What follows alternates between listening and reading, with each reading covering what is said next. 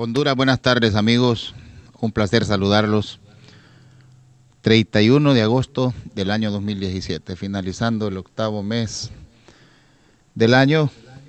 Los saludamos desde San Pedro Sula para presentarles doble vía en ausencia del director de este espacio, el licenciado Rodolfo Colindres Gerazo, que a partir del próximo lunes estará siempre al frente de la dirección del mejor foro de la radiodifusión hondureña. Esta tarde en San Pedro Sula contamos con dos invitados para anunciar un programa que impulsa la APJ y que se ha denominado 3 de 3, candidato limpio, planillas limpias y elecciones limpias. En sintonía con el proceso electoral, cuya campaña fue oficialmente abierta a partir de este lunes por las autoridades del Tribunal Supremo Electoral. De igual manera vamos a estar platicando y analizando con nuestros invitados el programa de gobierno de cada uno de los candidatos que de acuerdo a las encuestas, aunque unos con un porcentaje mayor que otros, tienen las posibilidades de poder obtener la victoria en noviembre próximo, específicamente el 26 de noviembre, cuando el pueblo hondureño salga, no sabemos si de forma masiva o, rala, a las urnas para determinar quiénes serán nuestras nuevas autoridades.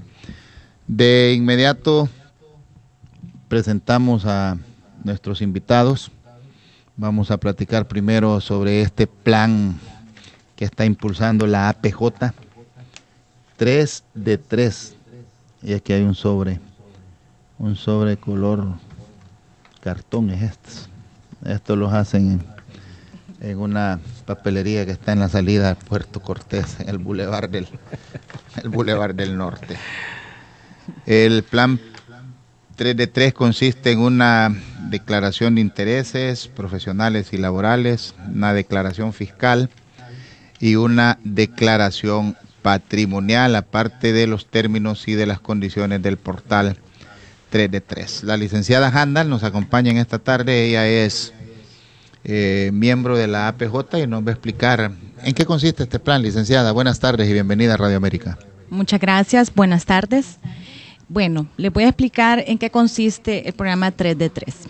Esta es una iniciativa ciudadana que tiene como objetivo motivar e incentivar a los candidatos de elección popular para las próximas elecciones generales a divulgar de forma proactiva, voluntaria y con consentimiento expreso de tres declaraciones juradas, que estas son las que están dentro de los sobres, las cuales son la número uno, declaración patrimonial, o sea, cuánto tienen, cuál es su patrimonio, como la declaración lo dice. La segunda es la declaración de intereses, cuál es su currículum vitae, dónde ha trabajado, quiénes son sus compradores, sus amigos, sus prestamistas. La tercera es la declaración fiscal, esto yo creo que es muy importante para las personas que nos van a gobernar, ya que queremos saber que no solamente van a gastar nuestros impuestos, sino que ellos también están al día y sean contribuyentes al día. Asimismo, también el portal 3 de 3, los candidatos van a publicar su formato de hoja de vida y va a estar pues eh, en, el portal www.3d3hn.com. Eh, ¿Qué no es 3 de 3? Nosotros no somos un portal gubernamental o estatal, ni tampoco estamos siendo financiados por el Estado de Honduras ni por ningún partido político o por algún candidato de elección popular. 3 de 3 es una pura iniciativa ciudadana basada en los principios de la moralidad, la ética y la transparencia. 3 de 3. No hay ninguna obligación de candidato alguno de recibir este sobre. Sin embargo, por aquello de la transparencia y la moralidad, la APJ está impulsando esta eh, nueva modalidad de transparencia en el proceso electoral. ¿Cómo van a distribuir ustedes este sobre y a qué tipo de candidatos, en qué papeletas electivas? ¿Van a ser a nivel presidencial, a nivel de diputados en cada departamento? Sí. ¿Y a nivel de alcaldía, a los regidores? tres niveles. A los tres presidenciales, alcaldía y diputados. ¿Cuántos sobres van a entregar o pretenden entregar durante lo que resta del proceso electoral para que los candidatos puedan tener una eh, respuesta a lo que ustedes están demandando? Efectivamente. Eh, Bien, ahora, ahora el abogado Ramón Enrique Barrios, que eh, también es parte de la APJ y analista político, nos va, nos va a ampliar eh, y acompaña a la licenciada Handal, que es parte de esta organización no gubernamental. Sí. Abogado. Ambos somos miembros del capítulo de San Pedro Sula de la Alianza por la Paz y la Justicia. Como decía la licenciada Handal, este programa 3 de 3 es una iniciativa ciudadana, de los ciudadanos y las ciudadanas. Y yo quiero, eh, digamos, que nuestros radios escuchas se concentren en esto. 26 de noviembre nosotros vamos a ceder parte de nuestra soberanía. Es decir, cuando nosotros depositamos el voto, en realidad estamos renunciando a nuestros derechos. Yo creo que eso es lo importante. No es solo el hecho de que depositamos un voto, de que hacemos una marca o hacemos tres marcas a nivel presidencial, a nivel de diputados al Congreso Nacional y a, y a nivel municipal, sino que el voto representa este ejercicio de cada cuatro años una cesión de nuestros derechos. Es decir, cada ciudadano le está cediendo a este representante público parte de nuestros derechos. Le estamos diciendo, yo renuncio a hacerme justicia por propia mano y le cedo a usted que usted, representante del Estado, elija un magistrado de la Corte Suprema para que administre la justicia. Yo cedo parte de mis derechos reales y le autorizo a usted, funcionario, que me cobre impuestos sobre mis bienes. Y así sucesivamente. Entonces, hay que entender que si yo el 26 de noviembre voy a ceder parte de mi derecho, lo mínimo que yo puedo pedirle a este funcionario que le voy a ceder mi derecho es que por lo menos me dé alguna garantía de su profesionalismo, de su profesionalidad, de su honradez y de su moralidad en el ejercicio del cargo público.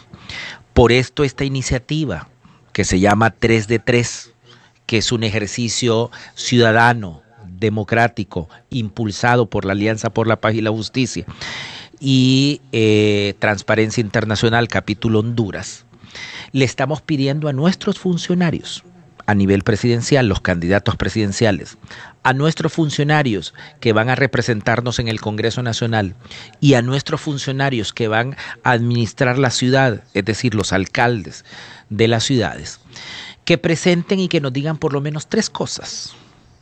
¿Cuáles son sus bienes en este momento? ¿Con qué bienes entran al ejercicio de la función pública?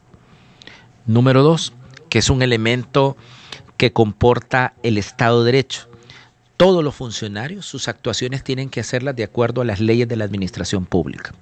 Y mal haría un funcionario entrar a ejercer un cargo público y no está pagando sus impuestos o no está debidamente y correctamente con el estado fiscal del Estado de Honduras. Entonces le pedimos también cuál es su estado fiscal, cuáles son sus actuaciones con respecto a la obligación ciudadana que usted y yo lo hacemos de pagar impuestos. Cada vez que pagamos la tasa vehicular, que en nómina nos quitan una, una cantidad. Entonces, si nosotros los ciudadanos que no tenemos una función pública lo hacemos, entonces, lo mínimo que nosotros ciudadanos le pedimos a este funcionario es que tenemos que ver esa parte. Y la tercera es un compromiso de su hoja de vida o un compromiso de intereses. ¿Qué significa? Que si yo voy a ser electo funcionario público, debo decirle si yo soy dueño de una empresa pública que le provee servicios al Estado de Honduras. ¿Por qué? Porque ahí hay un conflicto de intereses licenciado Hernández, licenciada Handa, el compañero y Radio Escuchas. Si yo soy un proveedor del Estado, pero además voy a ser funcionario público, hay un conflicto de intereses. Pero bueno, a lo mejor el funcionario me lo dice Y yo creo que esa transparencia de que el funcionario me lo diga me está demostrando su transparencia, su honradez. No está eh, negándome una información. Y entonces, de acuerdo a su pregunta, efectivamente le estamos preguntando estas tres cosas a todos los funcionarios. Aquí en San Pedro Sula lo estamos haciendo a nivel de los alcaldes principalmente y eventualmente con los diputados al, al Congreso Nacional del Departamento de Cortés. Pero me parece que es importante preguntarle esto a los funcionarios y sobre todo este es un ejercicio democrático totalmente voluntario. Por supuesto que no tiene una consecuencia. El candidato a cargo de elección popular que no quiera aceptar. No lo hace.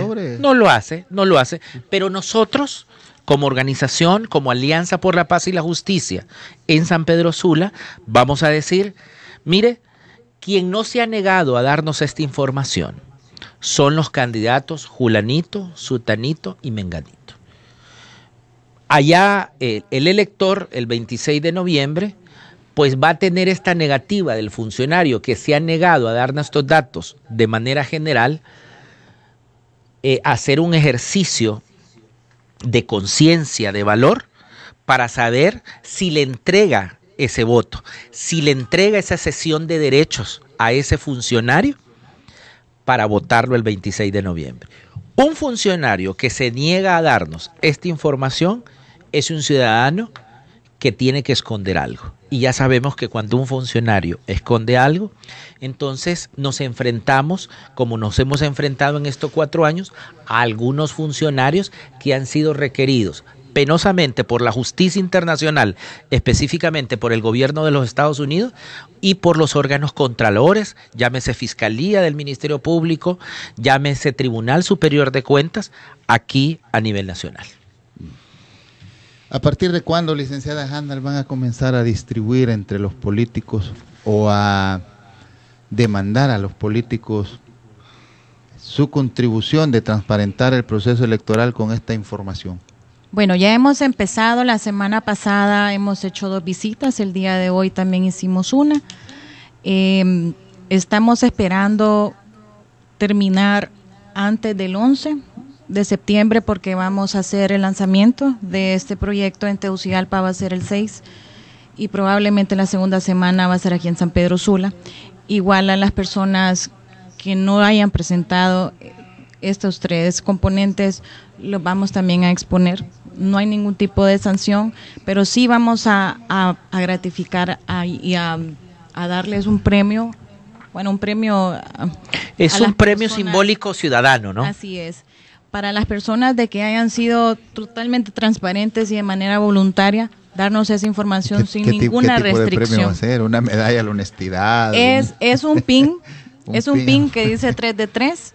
Eh, pues todavía no hemos decidido de qué material va a estar hecho, pero es como un tipo de sello de calidad, por decir lo que se le va a dar a la persona, y pues esa persona lo va a aportar y uno como ciudadano va a saber, ah, ok, ahí va el candidato de X partido, esta persona ha cumplido con los requisitos que nosotros como ciudadanos tenemos el derecho de exigirle a las personas que van de elección de cargo popular. Muchos se van a preguntar quién está financiando este ejercicio para transparentar el proceso electoral. ¿Quién está atrás de esta campaña? ¿De dónde surgen estos fondos? Muy bien. Entonces, yo sé que como esas preguntas van a surgir, yo se las dejo abierta ahora para que ustedes respondan quién está financiando eso, si lleva línea hacia algún partido político o hacia ciertos candidatos, o, es algo que, nace de organizaciones que quieren ver eh, un, un, proceso electoral diferente en el país. No, y efectivamente la organización Alianza por la Paz y la Justicia y Transparencia Internacional no tiene nada, absolutamente nada que esconder. Efectivamente somos, como explicaba la licenciada Handel, una organización eh, no, gubernamental que recibe fondos de donantes internacionales, especialmente de eh, la Unión Europea y eh, de los Estados Unidos de Norteamérica. Esta es una iniciativa totalmente ciudadana. No recibimos fondos del gobierno nacional ni del Estado de Honduras, por lo tanto son donantes internacionales. Y este es un ejercicio ciudadano para los ciudadanos y con resultados para la ciudadanía. Fíjese que lo interesante eh, del programa 3 de 3, que más se beneficia son precisamente las personas a, a quienes les preguntamos. Porque el candidato que nos contestas estas tres variables que nosotros estamos preguntando, pues además, como lo explicaba la licenciada Handal, va a lucir un PIN, que es un PIN honorífico realmente. Es decir, que lo va a aportar y va a decir, ¿sabe qué? Mi información está en el portal de 3 de 3, usted puede saber quién soy yo como candidato a un cargo de elección popular. Ahí están mis bienes, allí está mi intencionalidad, eh, mi hoja de vida, eh, mis empresas, si es que tengo alguna conexión y soy proveedor con el Estado. Esa es mi información fiscal. Con esto viene, yo entro al ejercicio para que usted pueda monitorearme año con año que viene voy adquiriendo yo con el sueldo mensual que me da como funcionario. Entonces, el mayor responsable va a ser y el mayor beneficioso va a ser el funcionario público que nos dé esta información. Solo el funcionario que complete toda la información va a aportar ese pin simbólico que en realidad es una cuestión una certificación por parte no solamente de la Alianza por la Paz y la Justicia y de Transparencia Internacional, sino lo más importante es una certificación ciudadana que le dice al funcionario efectivamente usted nos ha dado toda la información. Por lo tanto, me parece que esta es una información que va dirigida a todos los funcionarios sin ningún sesgo. Esto se está haciendo a nivel presidencial, a nivel eh, de diputados al Congreso Nacional. Al candidato Juan Orlando Hernández. Ya lo tiene el presidente Hernando. Luis Zelaya, el candidato Salvador Narrala. Efectivamente, eh, esto ya lo tienen todos los candidatos presidenciales, ya tienen esta información. Ya sus equipos de trabajo están llenando el portal y cuando nosotros lo impulsemos en la próxima semana aquí en San Pedro Sula, vamos a habilitar para que todos los ciudadanos podamos entrar a esa dirección electrónica y podamos ver al candidato o cada uno de los candidatos presidenciales cómo van llenando eh, las tres eh, peticiones que hace la Alianza por la Paz y la Justicia. Bien, muy bien, interesante este ejercicio de transparencia que está ejecutando la APJ de cara al proceso electoral del próximo 26 de noviembre. Muchas gracias, licenciada Handel. Gracias si nos quiere a ustedes por el espacio. Este espacio es suyo y esta cabina también, sí. Nos quiere acompañar para que aprendamos en conocimiento político de, del abogado Ramón Barrios, analista que hemos invitado esta esta tarde para que hablemos de, de los programas de gobierno. Son 10 partidos políticos que van a elecciones, 9 candidaturas presidenciales porque hay una alianza que el candidato abarca a dos partidos políticos más, al Partido Innovación y Unidad y al Partido Libre. Y que se está centrando en tres candidatos. El candidato del Partido Nacional, que es el actual presidente, el abogado Juan Orlando Hernández, el candidato del Partido Liberal, el ingeniero Luis Zelaya y el candidato del eh, Partido Libre, del PAC y del PINU, denominada Alianza contra la Oposición, el ingeniero Salvador César Salvador Alejandro, tres nombres tiene este presidenciable, tres nombres, Narrala Salún. Salún. Apellido Salud. Sí, tres nombres. Estaban baratos en aquel tiempo, me imagino. Oh, hay una costumbre de pronto de, de, los familiares. Usted ya conoce las propuestas, ya han sido presentadas por los tres presidenciables. No vamos tampoco nosotros a restarle la importancia que y el valor que merecen los otros candidatos, pero definitivamente las posibilidades que ellos tienen de poder ganar son tal vez 0.00001. Y no queremos aquí pecar nosotros de, de discriminatorios, pero es una realidad en este país. Primero privó un bipartidismo que concentraba eh, al pueblo hondureño en el Partido Nacional y en el Partido Liberal y ahora está privando eh, una atracción entre tres. Luego de haber conocido estas propuestas de trabajo, ¿cuáles les parecen descabelladas y cuáles les parecen sensatas abogado. Bueno, muchas gracias. Efectivamente, eh, como usted lo apuntaba, licenciado Morales, sin menospreciar a los otros candidatos a la presidencia. Yo creo que el 26 de noviembre, entre el presidente Hernández, entre los candidatos a la presidencia Salvador Narrala y Luis Zelaya, vamos a tener al próximo presidente de Honduras. Sin menospreciar, lo que pasa es que estos tres candidatos representan el 92% de los votantes en Honduras. Por lo tanto, sí, el patrón electoral, 92%. Por lo tanto, no es ningún acto discriminatorio, sino un dato objetivo decir que entre estos tres candidatos tenemos al próximo presidente. Y el otro ocho restantes se pueden ir en indeciso o en el que no tiene un eh, eh, partido favorito. Exacto, No es que necesariamente ese 8% lo van a llenar. Exacto. Eh, el indeciso no quiere decir que no va a votar. Es una realidad. Es una realidad, ¿verdad? Así como dicen en el país, la mitad más uno es Olimpia o la mitad menos uno es ante Olimpia y, el otro restante, el 49%. Exacto. Es una realidad. Entonces ya hemos conocido en días recientes los tres planes, efectivamente han presentado los tres candidatos mayoritarios sus planes de gobierno. A mí me parece que eh, hay una diferencia sustancial en cada uno de ellos. Eh, por un lado, el candidato Zelaya, Luis Zelaya, del Partido Liberal, resumo, digamos, su plan de gobierno en uno. Restaurar el Estado de Derecho de la Nación.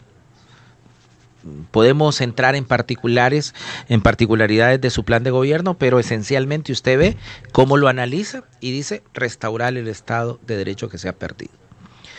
El presidente, el candidato Salvador Narrala, podemos eh, sintetizar su plan de gobierno, es decir, necesitamos tomar el gobierno, llamar a una consulta popular para establecer una Asamblea Nacional Constituyente que refunde el Estado de Honduras o refunde el Estado de gobierno de la nación.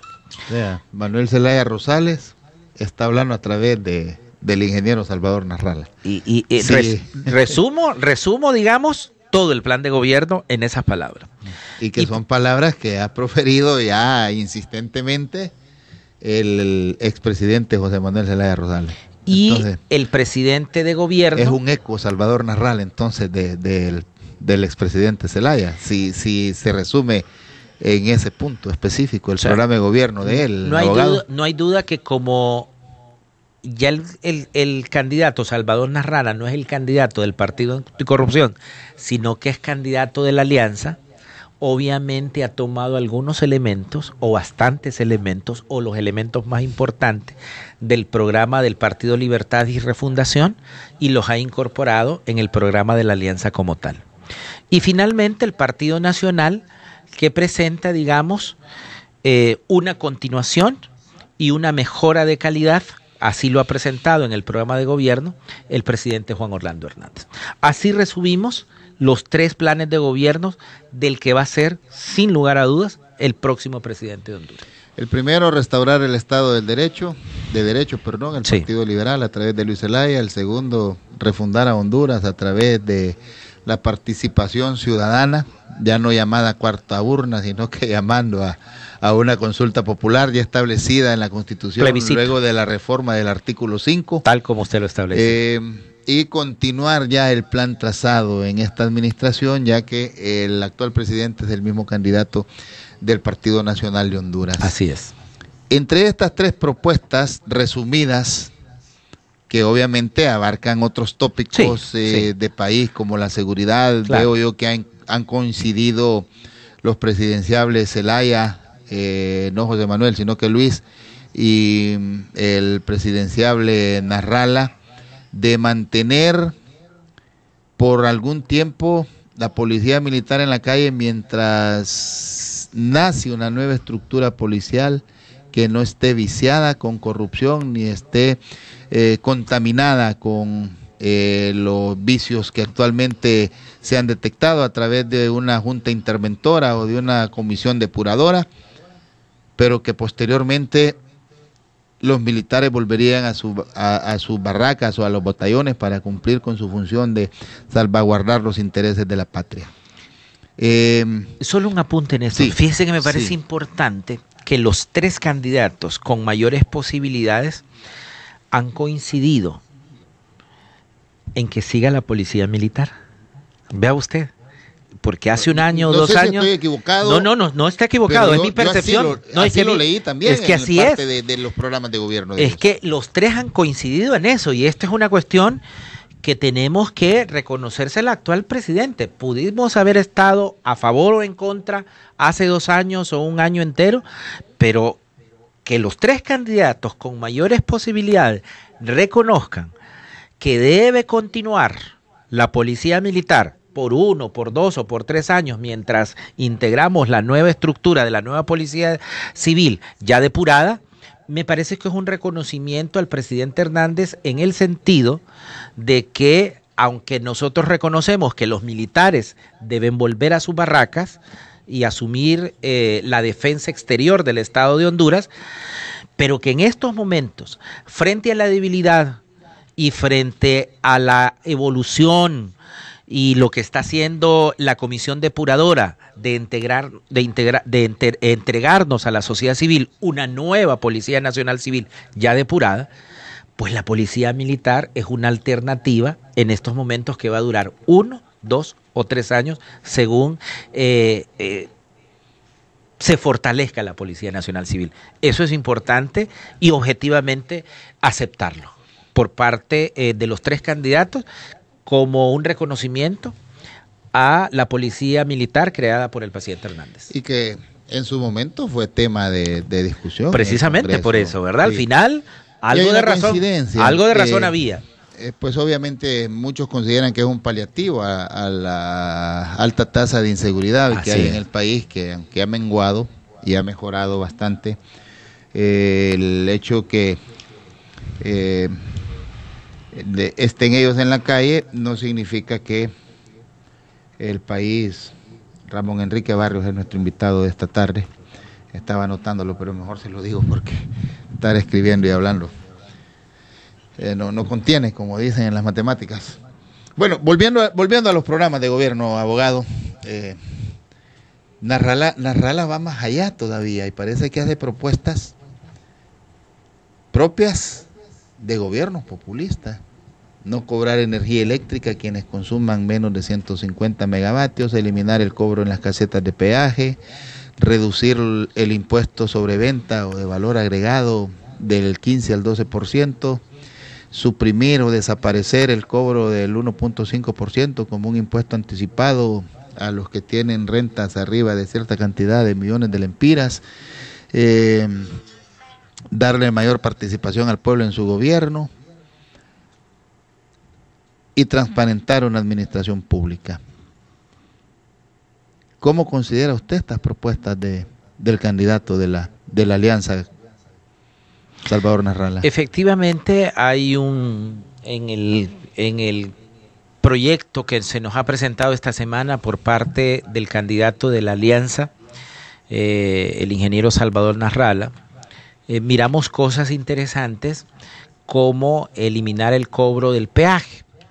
Sobre todo dice hay que eliminar el cobro del peaje cuando no hayan eh, carreteras alternativas. Eh, Esto lo ha dicho. Y me parece que está muy bien. Eso suena muy bien. Eh, no tenemos que pagar un peaje por una carretera que previamente nosotros hemos contribuido con nuestros impuestos a la construcción. Me parece muy bien. Ese como dato objetivo.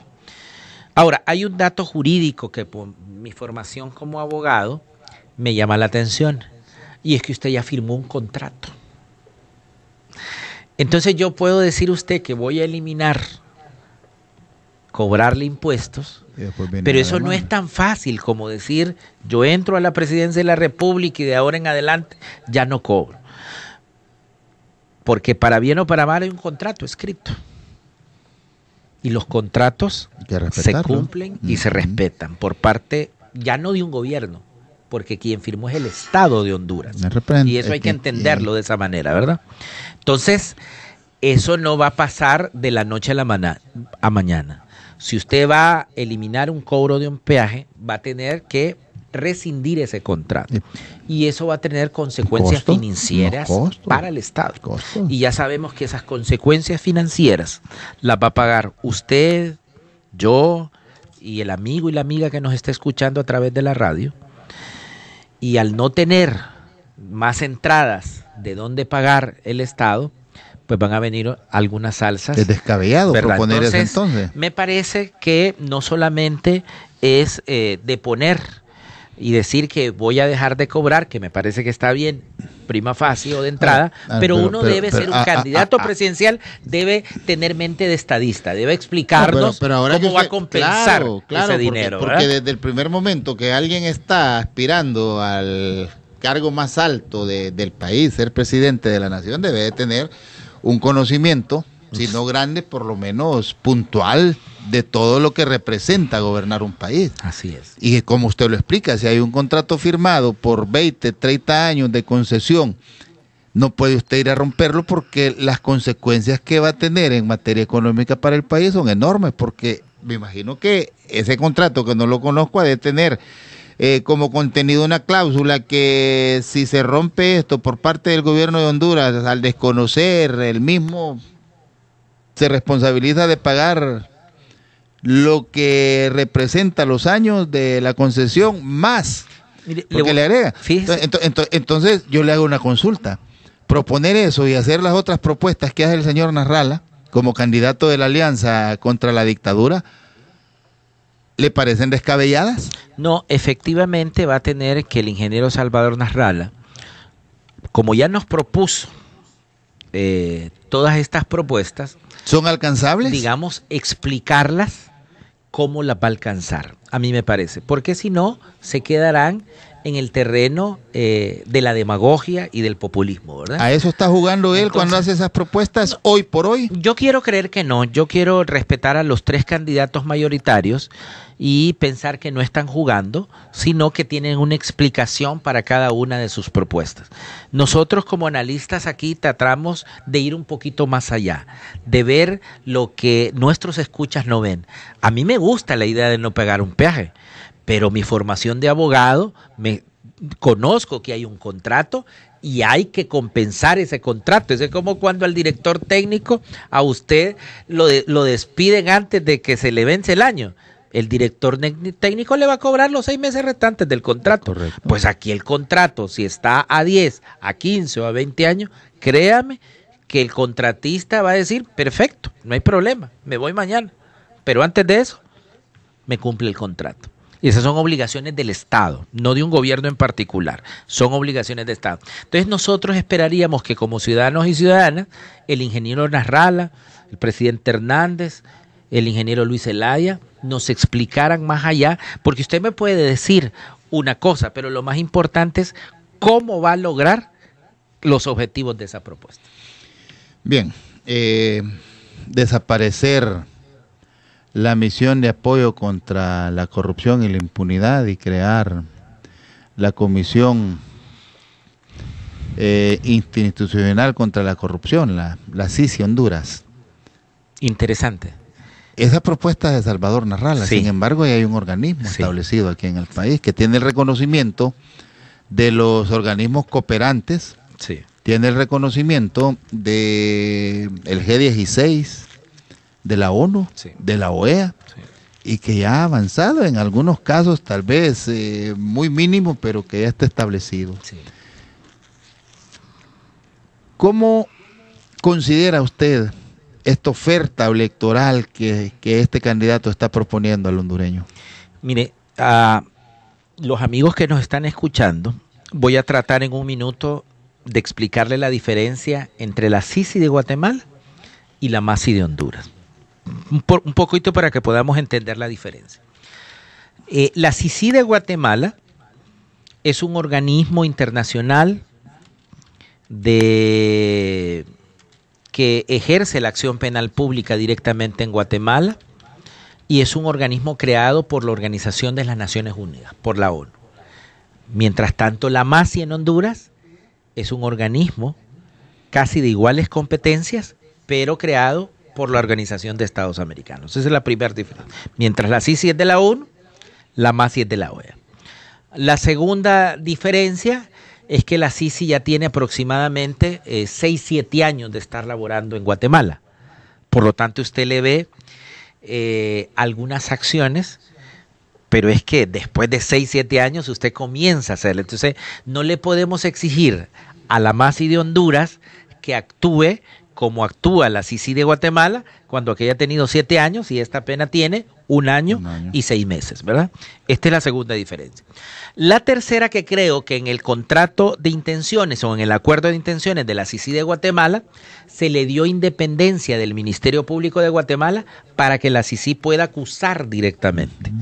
Mientras que la MASI en Honduras, en la carta de intenciones que se firmó, la MASI en Honduras no puede ejercer la acción penal pública de manera directa. Es decir, no puede presentar requerimientos fiscales como MASI directamente, sino Pero que sí tiene que hacerlo, revelar- sino que tiene que hacerlo a través del Ministerio Público de Honduras. Pero antes de entregarle al Ministerio Público se puede revelar. Lo que Hemos sí- llegado a la conclusión que el señor Joel Morales, cometió un acto de en corrupción. tal gobierno, fue vinculado a este acto de corrupción y tras investigaciones hemos determinado su participación directa y aquí está. Y aquí están las pruebas. Aquí está. Señores y esto del- lo vamos a trasladar al MP hondureño para que presente. Ahí Eh, queda en sí, evidencia el es- Ministerio Público si quiere o no lo quiere Y presentar. esto es muy importante que lo que usted apunta, porque la MASI, una vez presentado este expediente, mire lo importante de, su pregunta, una vez presentado al Ministerio Público va a quedar en evidencia.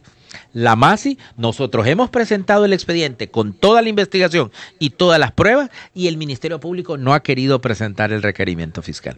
Entonces, yo, eh, lejos, mire, va a ser difícil que la Organización de las Naciones Unidas, que está evidentemente en una crisis financiera, hay que decirlo, pueda destinar otra misión a Honduras.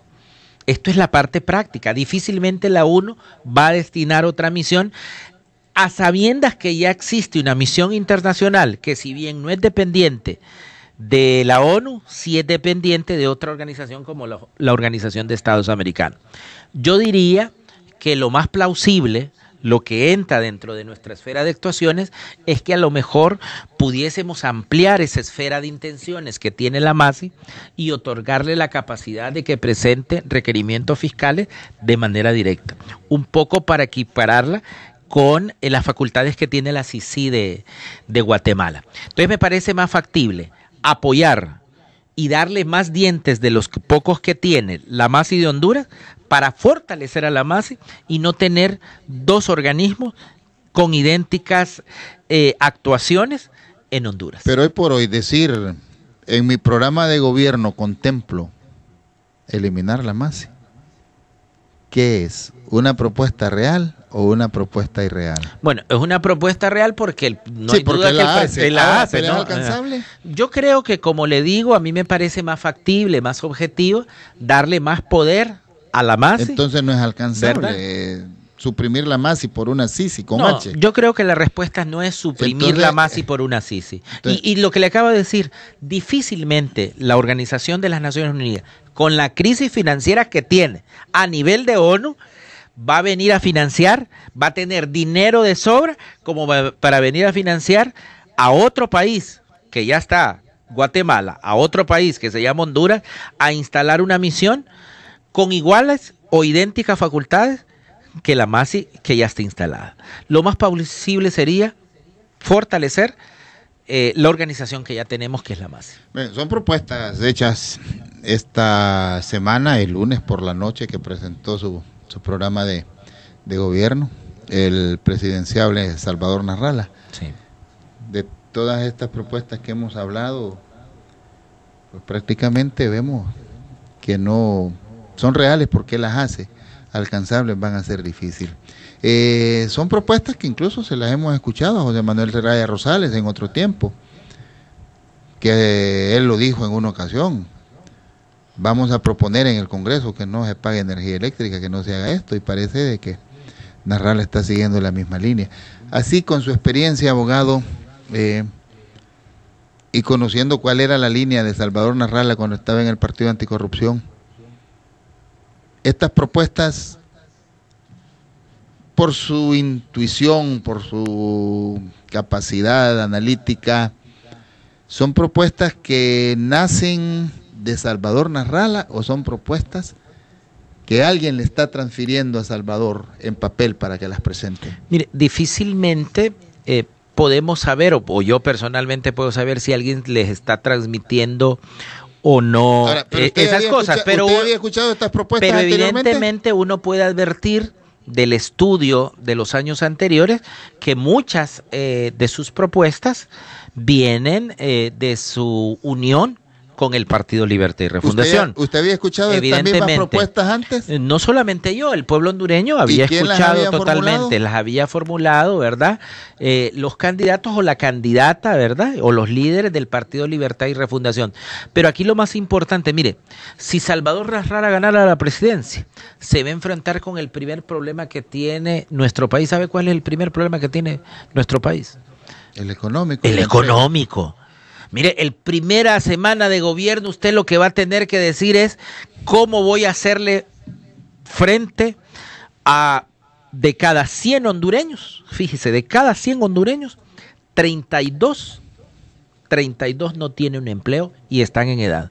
Entonces, a mí me parece que pensar en ya hacer una consulta para eh, refundar la patria, sí, a lo mejor sí es importante, pero hay Imagínese usted que es padre de familia, madre de familia, y tiene que tomar decisiones sobre su casa.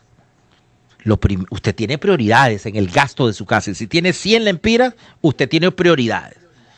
eso es lo que va a hacer un presidente que debe tener mente de estadista. Lo primero no va a ser suprimir la luz o que no se deje de pagar la luz. Si el gobierno necesita más, más bien dinero. Sí, que parecieran que fueran propuestas con fines entonces, electoreros, lo que usted va a hacer, el grado de educación de la población hondureña, eh, la capacidad de, de, percepción de cada uno de las propuestas, de la necesidad, porque usted acaba de decir algo eh, a, su nivel y al mío, y aquí está la, licenciada Handal que nos acompaña.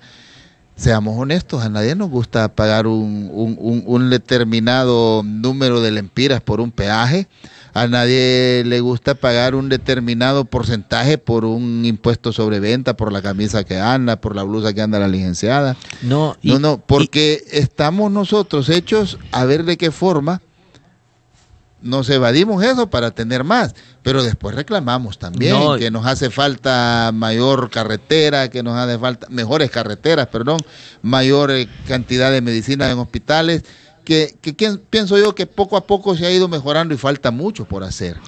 falta mucho por hacer. Y un simple análisis económico financiero, mire, en Honduras usted tiene tres capas poblacionales.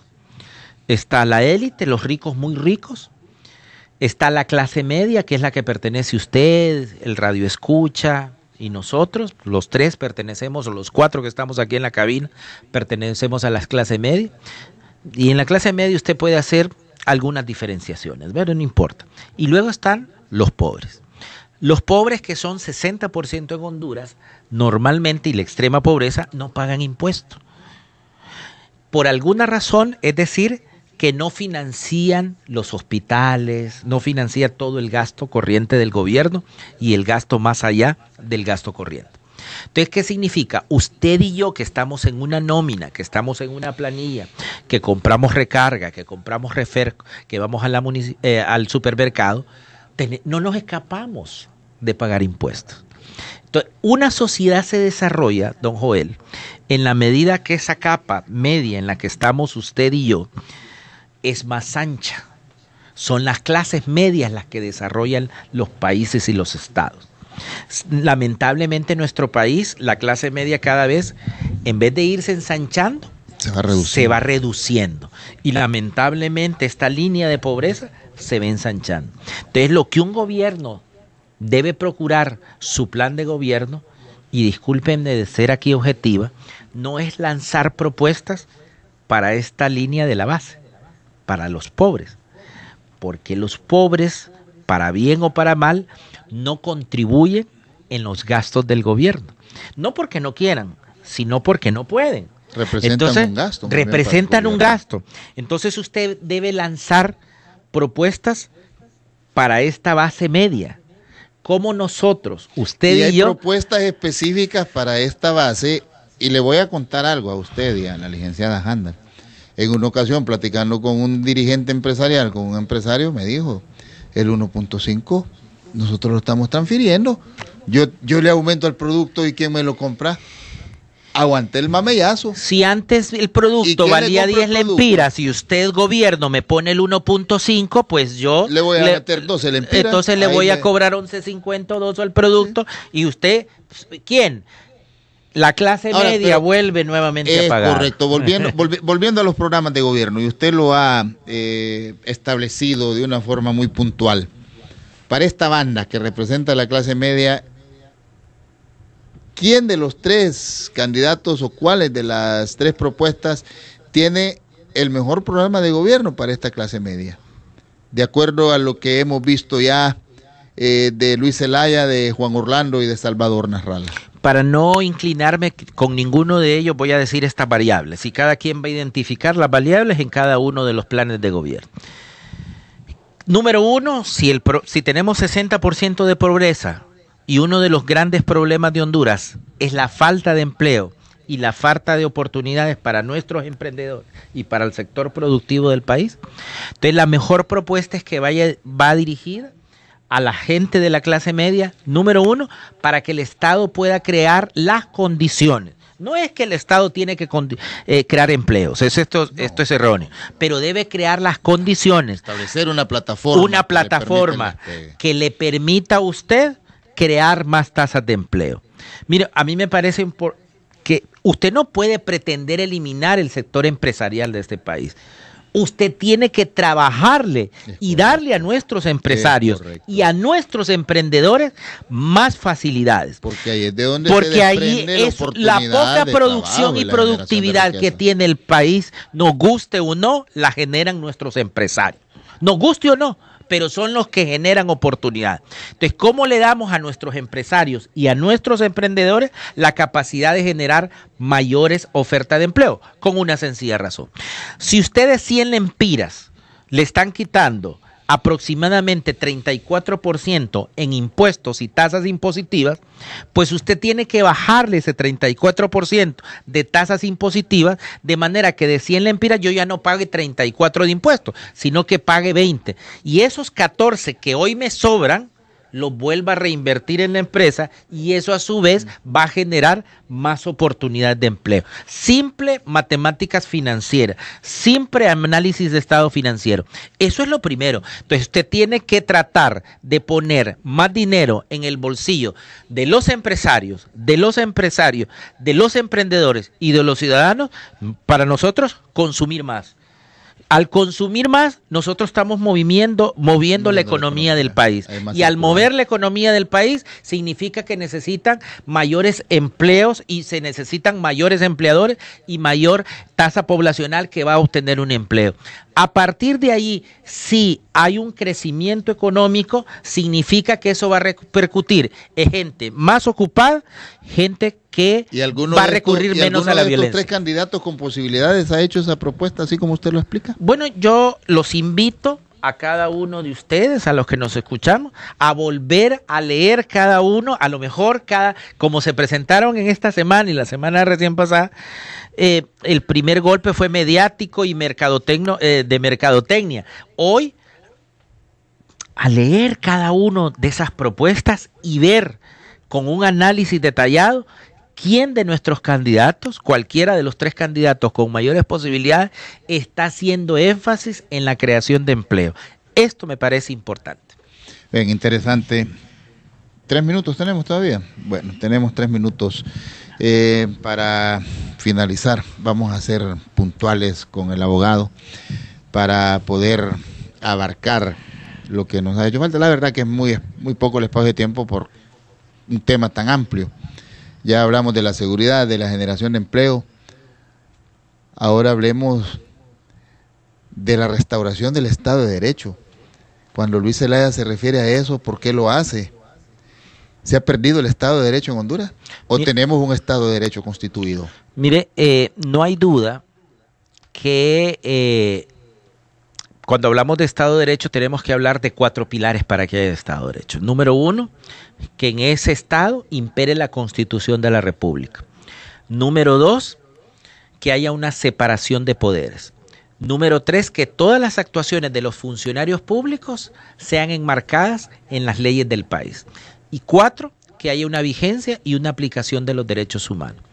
No hay duda que la Constitución de la República de 1982 se rompió con el golpe de Estado del año 2009. E, esto no lo podemos negar absolutamente nada. a partir del 2009 se rompió el contrato. De como el, el contrato se rompe, se debió llamar a una nueva Asamblea Nacional Constituyente.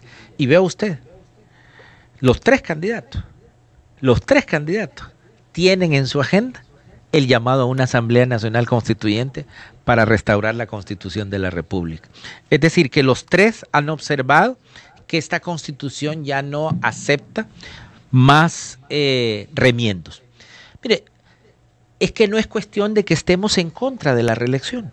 Si la reelección existe en los Estados Unidos, las reelecciones existen en todas las constituciones de la República.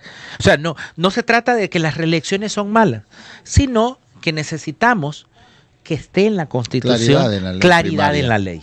O sea, no, no le pongamos nubarrones negros a la reelección per se, sino que esté establecida en un Congreso, y que en una Constitución de la República. Por lo tanto, empezamos por ahí. Los tres han coincidido, licenciado Joel, en restaurar el Estado de Derecho con el llamado a la Constitución de la República, a una Asamblea Nacional Constituyente o una consulta que ella establece, y usted nos señaló el artículo en la Constitución, a un plebiscito para hacer un nuevo contrato social. Bueno, nos vamos, ya me está diciendo Byron que hemos finalizado nuestro espacio. Qué rápido, se fueron los tres minutos. Sí. Abogado y licenciada Handal, no me resta más que agradecerles por su presencia esta tarde aquí en la cabina de Radio América para participar en el foro doble vía. Importante este plan 3 de 3, le vamos a dar seguimiento para informar en los diferentes espacios de Radio América. Muchas gracias por acompañarnos, licenciada Handal. ¿Me da para que yo lo llene? Se lo dejo para que usted... No, no, yo sé que no es candidato, pero es un veedor ciudadano y usted tiene la característica que tiene unos micrófonos para hacernos y decirle a los candidatos, aquí tenemos los ciudadanos una información que necesitamos que la, que la llene. Abogado, muchas gracias. Ojalá tengamos ese espacio nuevamente para poder platicar con usted considero que sí lo va a ver porque es interesante que sigamos abordando la realidad política de nuestro país. Muy honrado con su invitación, muchas gracias. A nombre de Rodolfo Colindre Gerazo, director de este importante foro de la radiodifusión, a nombre de todo el equipo de Radio América, ha sido un agrado poder servirles desde San Pedro Sula. Buenas tardes, que Dios nos bendiga y no cambie la sintonía, que en algunos minutos usted conocerá todo el entorno previo al partido de mañana entre Honduras y Trinidad y Tobago con nuestro compañero Henry Marvin Cabrera y Eduardo Flores. Buenas tardes. Radio América presentó Doble Vía, su sitio en el dial con los protagonistas de la noticia. Suscríbase al podcast de Doble Vía desde su dispositivo Apple y sintonícelo en cualquier momento.